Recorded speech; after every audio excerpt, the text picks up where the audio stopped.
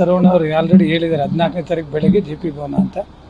ಹನ್ನೆರಡು ಗಂಟೆ ಏಳು ನಿಮಿಷಕ್ಕೆ ಸೇರ್ಕೋತಾ ಇದ್ದೀನಿ. ಚಿತ್ರದುರ್ಗದಲ್ಲಿ ಎಲ್ಲ ಜೆ ಡಿ ಎಸ್ ಗೆಲ್ಲುತ್ತೆ.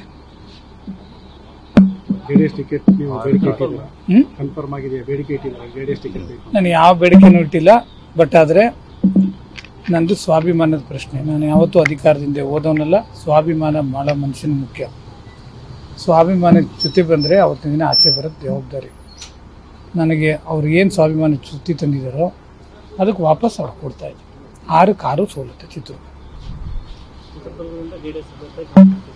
ಅದು ವರಿಷ್ಠರು ಡಿಸೈಡ್ ಮಾಡ್ಬೇಕು ನನ್ನ ಕೇಳಿದ್ಯಾ ನನ್ನ ಕೇಳಿಲ್ಲ ನಾನೇನು ಟಿಕೆಟ್ ಕೊಡಿ ಅಂತ ಹೋಗೂ ಇಲ್ಲ ಕೇಳೂ ಇಲ್ಲ. ಅವ್ರು ಏನು ಡಿಸೈಡ್ ಮಾಡ್ತಾರೆ ನಿಂತ್ಕೊಂಡು ನಿಂತ್ಕೊಳ್ಳೋದು ಇಲ್ಲೇನು ಮಾಡ್ತಾರೆ. ಜೆ ಡಿ ಎಸ್ ಅಂತೂ ಗೆಲ್ಸ್ಕೊಂಡು ಕರ್ಕೊಬರ್ತೀನಿ ಆಲ್ರೆಡಿ ನೀವು ಸ್ಪರ್ಧೆ ಮಾಡ್ತೀನಿ ಅಂತ ಘೋಷಣೆ ಮಾಡಿ ನಾನು ಹದಿನೇಳನೇ ತಾರೀಕು ನಾಮಿನೇಷನ್ ಮಾಡ್ತೀನಿ ಅಂತ ಹೇಳಿದ್ರಲ್ಲ